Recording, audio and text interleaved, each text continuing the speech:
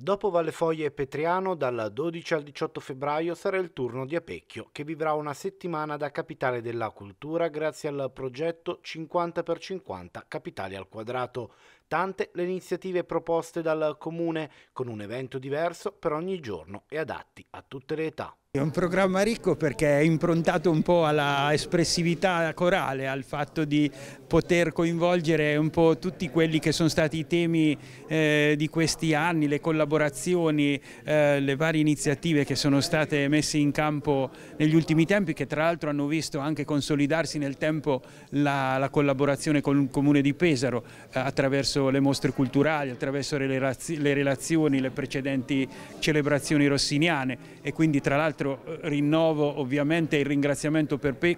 verso il Comune di Pesaro non solo per questa ottima intuizione di coinvolgere tutti i comuni ma anche perché da sempre c'è stata questa ricerca della complementarità. Nel nostro piccolo, anche noi abbiamo potuto offrire le nostre risorse, la, la, le nostre bellezze, le nostre particolarità, le nostre eccellenze e la soddisfazione duplice perché questo appuntamento cade immediatamente a ridosso con il riconoscimento che abbiamo appena ricevuto dal Touring Club italiano con l'assegnazione della bandiera arancione, diciamo che quindi questo programma ripropone, riflette, potenzia, rilancia i temi che sono stati anche alla base dell'ottenimento di questo titolo che riteniamo eh, essere anche meritato per la particolarità e per l'eccezionalità sotto certi aspetti del nostro territorio. Tantissimi eventi che ci vedono protagonisti dal 12 al 18 febbraio, la rassegna culturale prende il nome di AMA con la doppia iniziale per richiamare gli asili della, degli Appennini di cui come comune della strategia nazionale delle aree interne facciamo parte.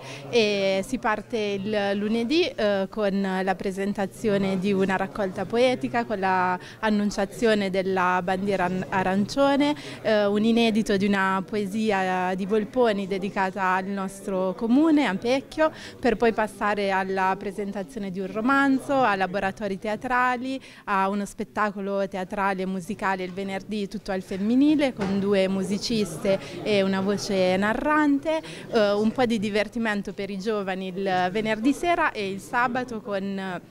la nostra tradizione del carnevale che è il carnevale morto che è organizzato da giovani del nostro territorio quindi la parte giovanile non, non, manca. Per poi passare invece alla storia, agli amici della storia con due appuntamenti, uno il sabato uno la domenica, eh, due mostre a Palazzo Baldini e poi ovviamente la natura che fa parte del nostro territorio con un trekking la domenica mattina e una visita guidata al centro storico la domenica pomeriggio per concludere sempre sempre con eh, gli amici della storia. Queste settimane del 50x50 sta diventando non solo un valore aggiunto ma una vera e propria parte integrante, un grande rafforzativo di quello che è lo spirito